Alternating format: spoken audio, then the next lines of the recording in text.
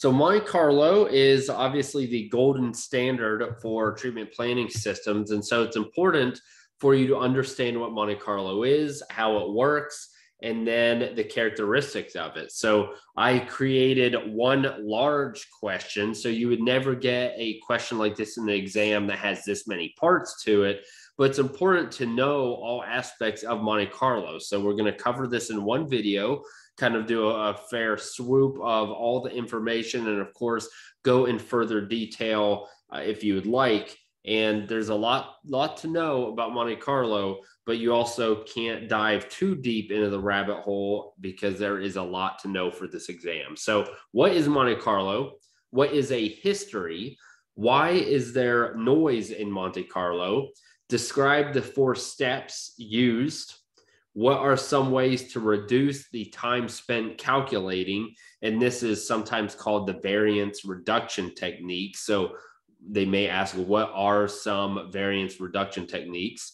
How would you verify Monte Carlo? What do you need for Monte Carlo? What inputs are necessary? What is a phase space file? What is ECUT?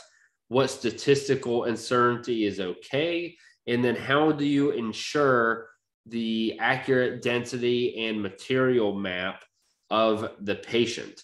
So, what is Monte Carlo? So, it is a simulation and it simulates a large amount of particles interacting in a medium to determine dose. So, as I mentioned, it is the gold standard, it is the most accurate system and estimation that we have for radiation ionizing dose was a history.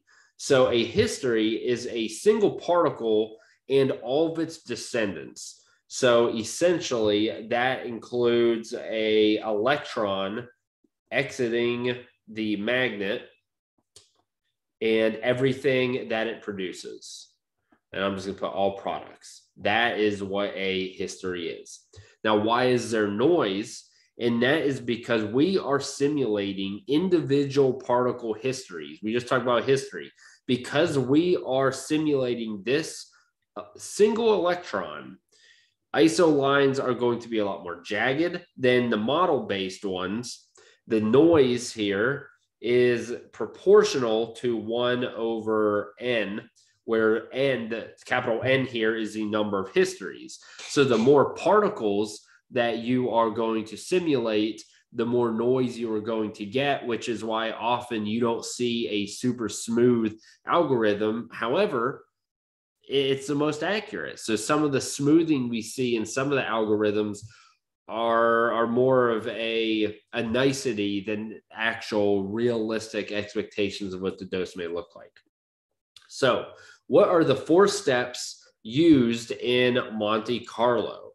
So let's move this up and let's talk about the four steps.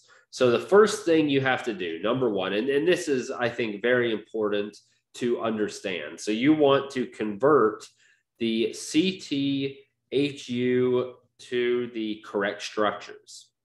So first thing you have to do is verify that all the structures have correct CT numbers and that those are accurate because that is going to determine how this dose, how these particles interact with that structure. Two, you're going to find the distance to next interaction site. Interaction site. Then three, we're going to use ray tracing, and that is going to get the particle that we are simulating to that interaction site. Uh, particle to interact site. The four, we want to select the interaction type at that site. Now, this is probabilistic, of course, but ultimately you do have to determine what the interaction type is. And then finally, you want to actually simulate that interaction those are the steps in Monte Carlo. I also realized I just wrote five steps. So, what are the five steps in Monte Carlo? You could probably uh, lump a couple of these select interaction type and simulate. That could be one step. But those ultimately are the steps in Monte Carlo. So now what are some of the, the variance reduction techniques? So without going into too much detail, first we have condensed histories. So this is exactly as it sounds, where most particles uh, don't change energy or direction. So you're condensing the histories, making them more simplistic. That's going to reduce calculation time and ultimately also save on, on power and just time spent doing the calculations. There's also something called Russian roulette. And that is where we ignore particles that aren't likely to make an impact. So it's Russian roulette because it's a gamble. More likely, they're probably not going to make an impact, but it's still it's still a risk. Then we have range rejection, and this is where we ignore particles whose range can't get to the next voxel. So we just assume they deposit their energy in that voxel. They can't make it to the next one. Again, that reduces simulation time and ultimately time spent calculating.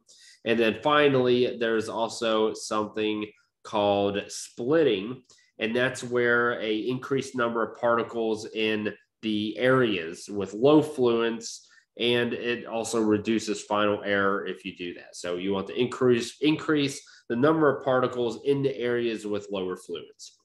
So now, how would you verify Monte Carlo? So this is important if you are commissioning this in a clinic or you have it in your clinic and there's an update, uh, upgrade, anything where you want to verify Monte Carlo is accurate. So first thing the that you want to do is do, of course, percent depth doses. You want to do beam profiles. You want to do the MLC dose profiles. So, a lot of the work with the MLCs, how they move, what they're made of, where the dose profiles with. You want to use small field sizes. You also want to go ahead and take some point doses. Ideally, if you have a rando phantom, that is ideal. It simulates a human body. There are a lot of advantages to the rando phantom for an end end test. Definitely do it. And then you also want to use a grid size of two to three millimeters. So now, what do you need for Monte Carlo? If you were going to commission Monte Carlo, what exactly do you need to actually commission this? So, first, you need cross section data. So, cross section essentially, you're going to find the probabilities that certain interaction types are going to happen because we are simulating each and every interaction. And we've talked about some of these uh, variance te- techniques and just in general, right here, select the interaction type in the actual steps of Monte Carlo. It has to know what the probabilities are. You also need some type of algorithm for the particle transporter. So again, we are simulating where these particles are going and how they're interacting. So how are you going to get them to that interaction point? And then you also just simply need the geometry of your linear accelerator. Where are the jaws? How big are the jaws? What are they made of? What's the distance from your target to your effective SSD, all of the geometry you are also uh, needing. So the inputs, let's talk about what inputs are necessary. And this kind of, I guess these two could have been one question, but the inputs, we talked about the accurate geometry, we talked about the linear accelerator specs. Again, the target materials, the distances, all that stuff you need. The stopping powers, the interactions, the scattering powers, all of that goes under cross section data. And then finally, you also need a accurate density and material map of the patient. Again, having that electron density is critical. And so having these two essentially are the same question actually. So you put all of these together and you are going to be able to commission that monte carlo and verify the algorithm is running to the best of its ability. So now what is a phase space file? So this includes the particle type. Now, of course, we have photons, we've got electrons. It also has the energy, the X, Y, Z position, position, and then also kind of directional parameters. And that ultimately is going to help you determine what direction does the particle go. Now, what is ECUT? So a particle transport stops when the energy is less than the E cut. So this happens when particles deposit the energy in that voxel. So ultimately, the E cut is approximately the same as the voxel dimension. So for example, if a voxel is two millimeters, the E cut is roughly less than 500 keV in water or less than 200 keV in lung. And so ultimately, that E cut range is approximately the voxel dimension. And there's a lot of research that can be done on this. You could really dive deep into these phase space files and E cut. Again, kind of know the overview, be able to answer what it is, but don't go too far into the weeds because you're going to waste a lot of brain power, bandwidth, and time that may not be necessary. So, what is or what statistical uncertainty is okay? So, we have a task group, TG 105. So, read that, memorize that. It says 2%. So, nice and easy. And then finally, what do you uh, or how do you ensure the accurate density and material map of the patient? So, as I mentioned here, what inputs are necessary for Monte Carlo? One of those things was a density map for the patient. So, what do we need to get this? So, first thing, we get this from CT, as you could probably imagine. So, the first thing here's the first step you want to convert HU to density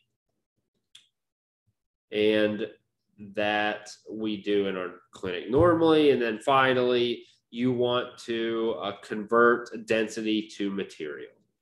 So that is an overview of Monte Carlo. There's a lot of information here and there's a lot of good information, but Monte Carlo is something you absolutely have to know very well you could be asked. And in general, it's good to know as a physicist in case you ever need it, you know what goes into it.